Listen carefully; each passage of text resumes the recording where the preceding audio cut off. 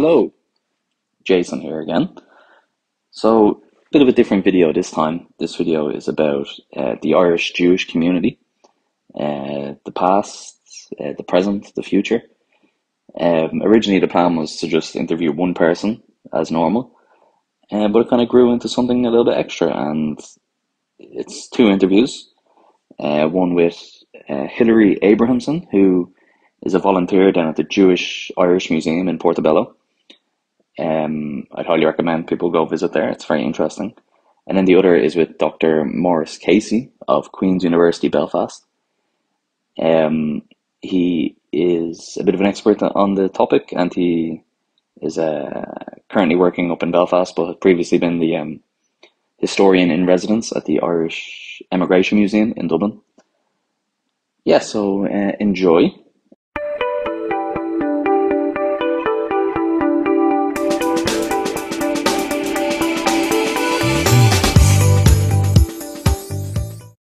Well, no, I'll, I'll give you the earliest known mention Okay. of Irish, Yeah. of, of Jews in Ireland. There's something called the Annals of Inisfallen, which were written by the monks. They were down around the Kerry area. And the, the manuscript is in the Bodleian Library, so it's there. Okay. And in 1079, it says that five Jews came over the sea bearing gifts for the High King. Okay. It's thought that they were trying to set up a trade route uh, with uh, Damask and all of those things because we had linen here, and you know, just um, t- to set up a trade route. It, it just says five Jews came over the sea bearing gifts to the High King, and then it says they were sent back. Okay. I imagine the gifts were kept, but anyway. Right, okay. So that's the very first mention. After that, uh, there was never never a settlement as such until this the time of the Spanish and Portuguese expulsion from Spain, Right. and some Jews came to uh, and they, they settled in Youghal in the 14, late 1400s, early 1500s, and the family name was Agnes, and some of them became mayors in uh, in in um, in Youghal. At that time, uh, Jews had been expelled from Britain, also Ireland. That Yeah. meant Ireland At too. time, yeah. So when they came in, I'm not quite sure. Anyway, when uh, Britain opened up again, when England opened up again, uh, there was a, quite a large Spanish and Portuguese uh, community in London, and they left Cork and went to London because there was a better chance for marriage and thought that perhaps one of the lost tribes from Israel oh, came to came to Ireland because you you see in uh, the west of Ireland particularly there are names like Cohen, Cowan, Levi. Those are all Jewish names, Okay. and it's thought that in early history, some of those tri- that one of those tribes may have landed here, and it was thought for many centuries that the Torah was hidden under the hill of Tara, Tara. Torah. Tara Torah.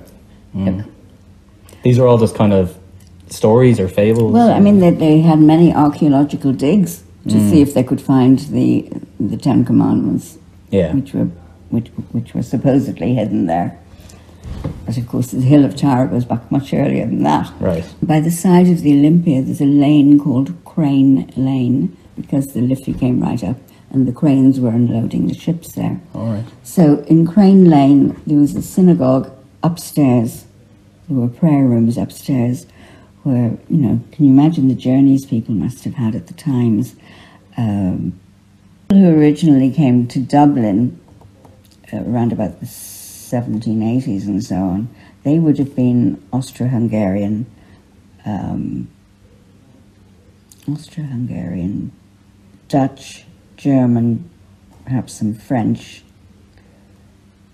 Uh, there were So they were just kind of naturally coming to Ireland, like they were just immigrating coming to Ireland, not not because for any particular any- reason. N- no, I don't think so. Perhaps things may have been a little uncomfortable where they were, and they decided they'd rather come to to somewhere else. In 1881, there were, I think, 490 Jews in the whole of Ireland. Okay. In 1891, there were almost 1,800. Wow. And that's because of the pogroms in Eastern Europe. Right. So when those Jews came from Eastern Europe, there was already what one would call a settled community. So the Jews that came to Ireland, uh, the settled community, they became. I mean, education was everything, as it is to any refugees, because that's in your head, and you can take that where, wherever you go. Yeah. So they became doctors, dentists, lawyers, uh, judges, Right. uh, politicians. So they always it was a small community, but it punched above its weight. And when you go downstairs, you can see Yeah. um, the names of, of the people involved.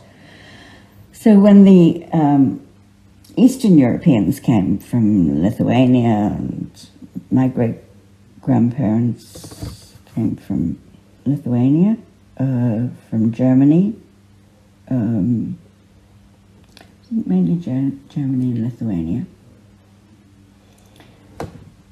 It- It's kind of the power of one. One family will come and they'll find out, well, there's there's no anti-Semitism, you know, it's fine, and then the whole the whole town will come. Right. That, that's the way it Yeah. worked. So you get people from Akmian, from Shavli, all, all of these different villages in, in uh, Lithuania or Poland or wherever. But there were uh, seven little synagogues around this area. There were also seven butchers down on, on, on Brussels Street. There isn't one in Ireland anymore, the kosher butcher. There are all sorts of all sorts of things. Well, I guess there's a lot to kind of unpick there. I mean, you kind of, the important context really is the history of political anti Semitism in Ireland, whether that was strong, where it was strong, and where it might have manifested in the case of a, of a German invasion. Um, De Valera, for example, was the target himself of anti-Semitic conspiracies, even though he didn't have Jewish ancestry. There was a a um, a you know these pamphlets that you'd see in sort of ultra right conservative circles in Britain that suggested that he was of Spanish Jewish heritage and so on, and so that De Valera himself was part of an international Jewish conspiracy. Um, would they have? Would the Irish people have welcomed a Nazi takeover? I don't think so. Would there have been collaborators? Yes, there would have been collaborators in Britain too, and you know this is the that is the sort of reality of it. And and anti-Semitism, there's people doing work on it now, but I think that um, anti-Semitism in early 20th century Irish political life needs to be studied in, more detail because it manifests itself in very um, very subtle ways, and there's kind of all, all it's always to find the more direct things like Arthur Griffith writing directly anti-Semitic things, but then there's something that uh, a historian called Tricia Kessler looks at, which is like different immigration processes and how the immigration processes themselves are, are built around anti-Semitic ideas. So yeah, so I think the, the the way of tackling that question is really talking about, you know, is using the question as a launch point to think about where anti-Semitism existed in Ireland and and and dismissing and uh, undermining that idea that Ireland was somehow a welcoming place for Jewish people because in many ways it was not. Yeah, I mean, the evidence seems to show that it wasn't as opening as we would hope it would be, and um, there's a bit of um, contradiction in the the amount of Jewish children that were allowed in compared to the amount of Jewish, or sorry, uh, German children, which is uh, which is really interesting. Um, so I'm actually going to talk to you a bit more outside of Ireland, if that's okay, and about the Irish and Jewish interactions in different countries. So if we move to the UK and over to London, Mm. can you tell me a little bit about the uh, the Battle of Capel Street? Yeah, so I mean, it's an interesting moment, um, and of course, it's this very um, symbolic moment within the wider history of anti-fascism, whereby um, East Londoners gathered together to resist Oswald Mosley's British Union of Fascists marching through a Jewish area. And many sources from the time, you know, say that there was Irish um, dockers also standing alongside their uh, their Jewish neighbours, um, and uh, it also is part of a much wider history of, of East London and Irish and Jewish interaction in East London, which dates back into the 19th century. The Irish were um, the sort of working poor of East London, and then they came to live alongside the, the Jewish working poor, particularly in the wake of the pogroms in, in Eastern Europe in the 1880s and onwards. And that relationship was not, um, it was certainly not one of gradually building solidarity, which then exploded in in um, the Battle of Cable Street. I think it was more a um, or Battle of Cable. Is it Cable? I always get mixed up Cable or Capel. I think it's Cable. I would say I would say Cable, but I thought that was very similar Capel, to the Irish Street. Yeah, yeah. I think it's Cable Street because Cable. Capel. Street is the one in Dublin. That's why I get Yeah. it mixed up. Yeah. So this moment of solidarity, I think, was in a way somewhat exceptional in a wider history of contestation and and of moments of, of getting along easily, um, but also of of moments of um, yeah, certainly of anti-Semitism, and uh, yeah, it's it's a complex and interesting history. And what I'd really love is for someone with um, Yiddish-speaking abilities to read through the East London press and find out how Irish people were discussed within that press. I think would be very interesting insight into the intercommunal relations. There's a there is an author whose name escapes me right now who wrote a great book on um, Irish and Jewish diaspora interactions, particularly around socialist politics uh, in the east of London. Um, that I, I really find kind of very insightful on a lot of this these kind of questions. Yeah, so if these uh, two communities, the Irish and Jewish community, are living side by side and fighting fi- side by side, is there evidence that you know they got on well, that they had many interactions, or was this just a anti-fascist like fight that they had on their hands, or um, or what would what was the reason for that? Um, there is a lot of evidence, and you kind of have to be open to, to finding it. But I mean, all of these are sort of everyday interactions, and you need to kind of think of the kind of cityscape as very complex and open to these kind of encounters, right? So, I mean, when you go into a shop, you don't necessarily necessarily know the ethnic identity of everyone in there, but you might know if it's Jewish tailors or this is a, you know, and so on. So uh, there were those everyday relationships that were created by the simple fact of proximity and by necessity. Uh, you needed to clothe yourself, for example, that kind of stuff. And what I've become increasingly interested in is, is looking at romantic relationships, um, not just between Jewish migrants and Irish migrants, but wider Eastern European migration and Irish migration in the early 20th century, because I think that those, every couple tells a different story about those kind of spaces, how open these spaces were for encounter. Like I'm thinking of one Latvian Irish couple, and this Latvian guy claims that um, he was running a fish and chip shop in the early 20th century, and he um, bought a motorcycle and uh, went on a motorcycle trip to Tipperary, and was just so taken with this Tipperary farm girl that um, he proposed to her, and then they got married. And so there's that story there is about you know traditional migrant businesses in Ireland, which was fish and chip shops, um, and also about uh, crossing those different what might seem like divides. Right, there would have been a linguistic barrier, I'm sure, but then also this idea of different cultures coming together. Um, it's- Yeah, it's interesting. Yeah, there's probably a movie to be made there with that story.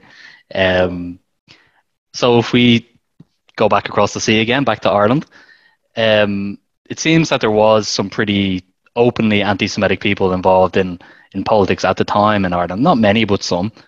Um, can you talk to me about Father Denis Fahey from Tipperary and what influence he might have had in politics at the time? Yeah, I mean, it's difficult enough to trace his influence aside from he was certainly very influential in, terms of the the thoughts and arguments of uh, Charles. Um, we would say Charles Coughlin in Ireland, but I think the Americans pronounce it Charles, Coughlin, who was a incendiary far right radio priest.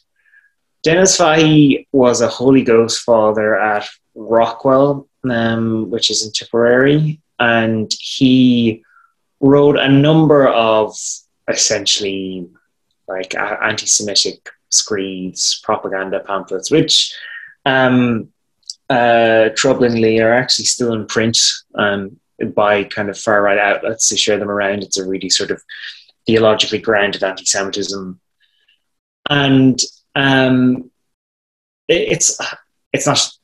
It certainly doesn't surprise anyone. There's few innovations in it. It's very much this idea of the Judeo-Bolshevik mythology that there is something innate about Judaism that leads them towards these revolutionary ideologies and, and world control and so on. And that was his that was his his thesis essentially. And it did have influence um, an influence in the US. Charles Kaufman picked it up and it became part of of his own um, uh, his own defense of his apologetics for for fascism uh, in the 1930s. So yeah, uh, Sean William Gannon is someone, uh, a scholar who's done a lot of great work on tracing the, trying to pick the both overt and kind of covert influence of these ideas um, of, you know, these anti-Semitic ideas and how they influenced the church in Ireland, which of course the church influenced Ireland. So yeah, it, it's always you have to be careful about focusing on the very overt anti-Semites because then you miss the the, the subtle ways in which mm. these sort of politics of hatred seeped into to Ireland, and you can trace that from those kind of origins then into something like what Tricia Kessler works on, which is like looking at immigration policy. So where do these people develop these anti-Semitic ideas, and what's the the atmosphere of anti-Semitism in Ireland and where those ideas developing? Those are kind of questions that we need to think more about as historians because they're very relevant today when we think yeah. where, where do racist ideas come from mm. and what are we consuming that might lead us to think these things. Yeah, agreed. And one of his big, yeah, this is Denis Fahey. Um, one of his big issues was with the De Valera's constitution, right? And that there was a specific protection guaranteed to Jewish people, which was very unusual. Um, I guess was this one of the reasons as well? My maybe De Valera was seen as a you know Jewish or a lover of the Jews. The, the conspiracy. Oh, my AirPods disconnected. It's a bit muffly there now.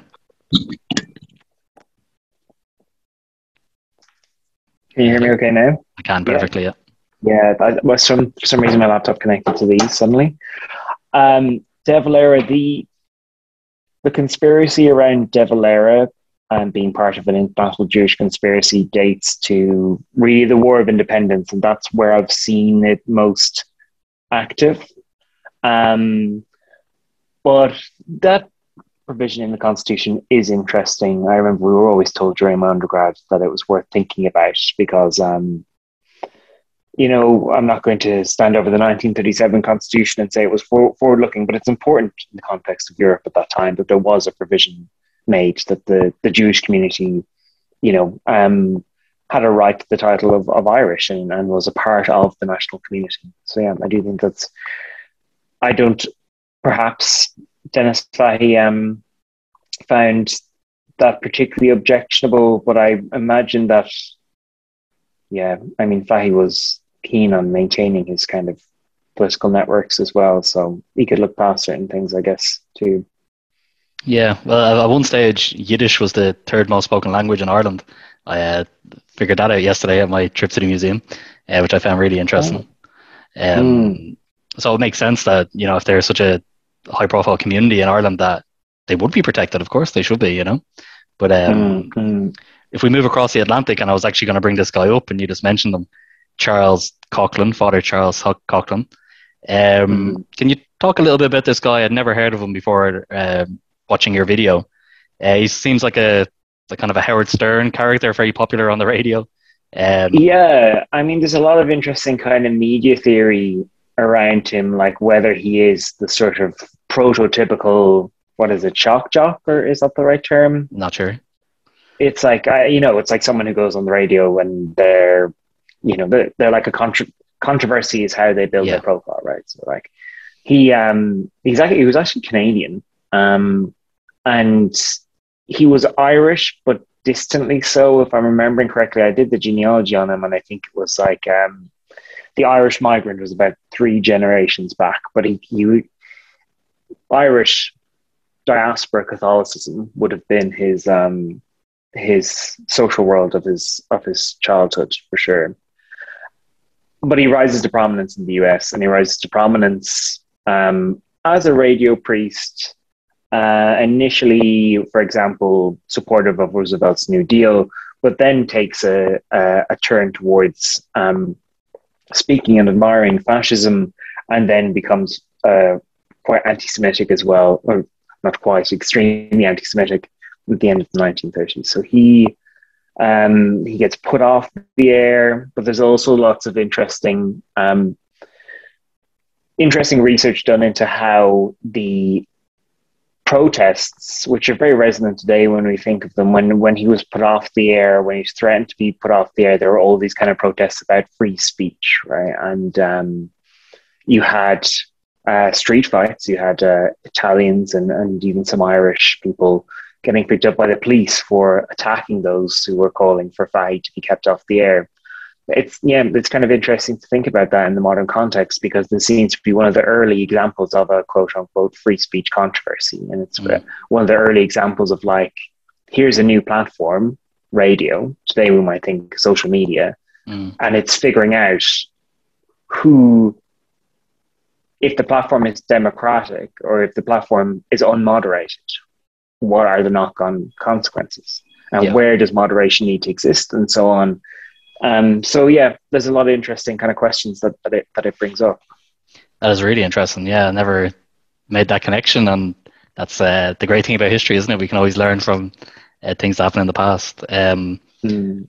So why was this this guy Coughlin so popular? Like, why did he appeal to the Irish Catholics? Let's say, is was it just the fact that he was Catholic? You know, is that enough, or was was there some something there in the Irish that um, was appealing? Mm, I mean, it would be. I couldn't. You know, there's no. There's nothing. You could never say that there's anything essential about Irishness in the diaspora that that would make Irish people racist, right? Or you know, there's nothing that. I think that Fahey was popular across the board. Um, his popularity was very striking. He was like so many of these kind of figures, charismatic in that sense that his voice could grab your attention. Why he was popular in Irish? Sure, it, was. I'm sure it was about Catholicism. Um, I'm sure it was about how the politics of hatred thrives, which is um, dislocating a community's sense of, of who their enemy is. Right? It's not the it's the it's your neighbor. You know, it, it, he teaches that it's your neighbor who's your enemy, not the not the people who are keeping you all down. Right. So about making hatred and enmity horizontal rather than in a way vertical and and um, trying to overcome the authorities that, that's keeping everyone in subjugation. So in a way, he's interesting. Again, kind of going back to my last answer, he's he's interesting from when we think of him structurally and what he represents these issues of free speech and, and why racist ideas thrive, not just among Irish communities, but among like all communities. And what makes these ideas appealing is because they're sort of right. They're like um, they they're they're easily digestible narratives, and they also fuel passions which are kind of compulsive and addictive, like hatred and fear. Um, and so it's about overcoming that, um, which is why I think he's, he's he's worth thinking about. I agree. Yeah, so very interesting. I know, like just like London, there's examples of in New York uh, during like the Five Points era of like mm. Irish people living alongside Jewish people, living alongside Black people in like some uh, some sort of you know harmony, but also conflict at the same time. Some sort of mm. mishmash uh, boiling pot. Um, so if we move across again the Atlantic back to Ireland to the modern mm-hmm. day, um, I listened recently to uh, Maurice Cohen, um, who is um, the chairman of the Jewish Council of Ireland, and he said that there's very little anti-Semitism in Ireland. He said he experienced basically none his whole life, but he said what you see is a very passionate support of the Palestinian cause. and he says that that is he doesn't feel like that's necessarily anti-Jewish. He feels that that's the Irish um, naturally uh, supporting the underdog or the person being oppressed or oppressed, as he said.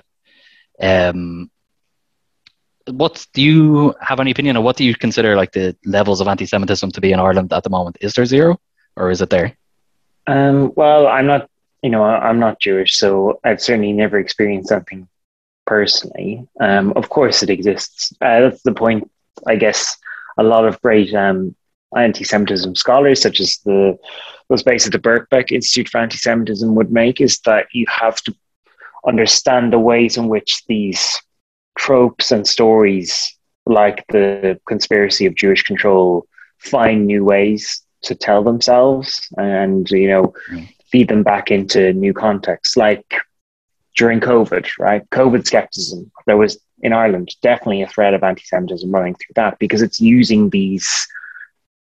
If you think of stories as like a narrative, it's like using these different threads of the story in different ways because it's proved so effective in the past, right? So like it's a world's council who's putting in 5G to give us all mm. COVID mm. or something like that.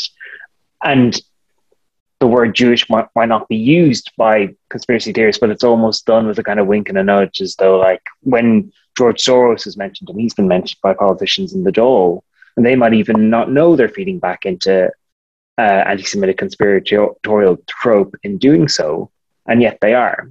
So that's also something that we also need to think about racism. It's not just uh, you know you don't just wake up one morning and decide, okay, I'm going to commit myself to racism and I'm going to just hate whatever community each day. It's something that we need to be constantly aware of how our everyday interactions um, might be constitute like might be caused by atmospheric ideas like anti-Semitic conspiracies or, or so on.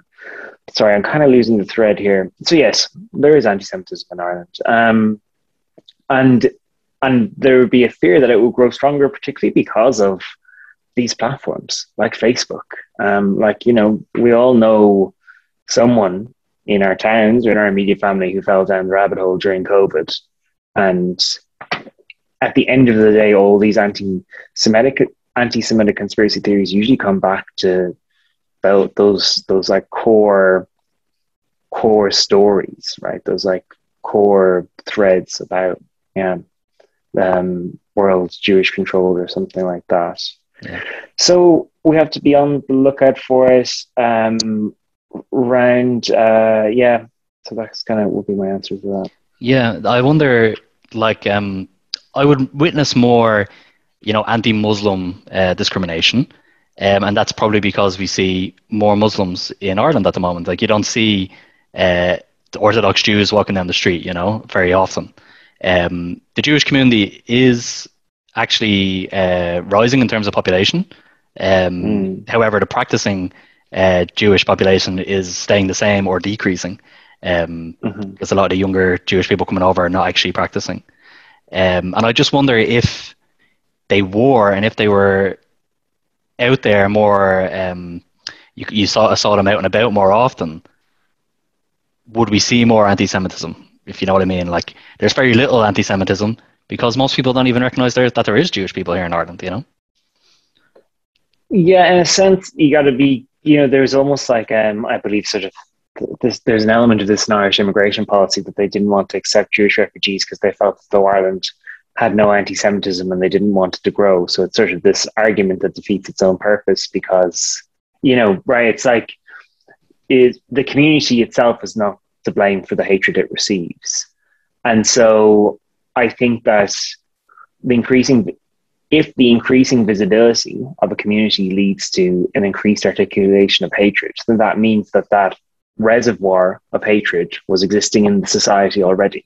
Yeah. And it's being tapped into, if, if, if that makes sense, right? Yeah. That um, it's you know, it's these people who are on these weird fringe Facebook groups who are suddenly have a kind of a a personified target for whatever they've been imbibing online, and that's why you you would see the increase. Not so much that visibility itself causes causes hatred. I mean, I'll be I'll be interested. It, will be interesting to see you know, we're in a real moment of, of change in Ireland in regards to this history because of the arrival um, of Ukrainians um, to Ireland.